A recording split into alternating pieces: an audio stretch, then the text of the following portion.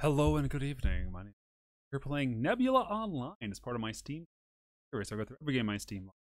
Eventually, then arbitrarily rate and or review them at we playtime. I don't quite know what this game is, but these games out at random. The game is currently delisted from Steam. Um, I don't know if it actually will work. I mean, we got we got it to load.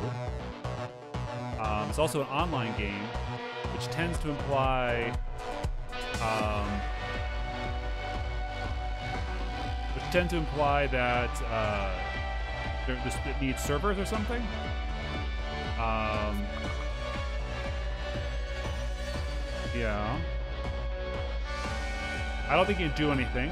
Uh, according to the discussion forums, servers are dead. There you go. Failed to connect to server. Please check in internet connection. Try again. All right. So this is gonna be an easy one. I just need to fill for just a little bit more time so that Steam gives me credit for playing the game so I can... Actually, no, it's delisted. I don't need to put in time on this. Um, this is a delisted game. It looks like a space MMO. Um, but since the servers are off, there ain't nothing here, so I could easily say I do not recommend this game. You can't buy it anyway. So there we go. A nice solid minute 15. Cheers. I'm proud of my work today.